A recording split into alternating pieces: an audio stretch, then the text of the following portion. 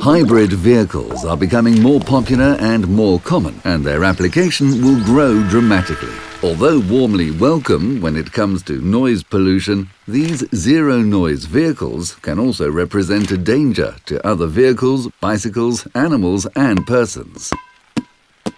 At Vodafone Automotive, we are always looking at new solutions to enhance security on the road. The acoustic vehicle alerting system is designed to help car makers comply with the legal safety challenges on road transport vehicles and noise level.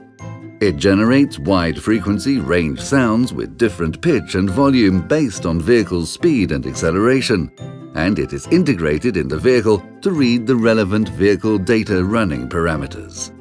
Our system is a compact, cost-efficient and low power consumption device. And it can be customized to evaluate the best setup configuration.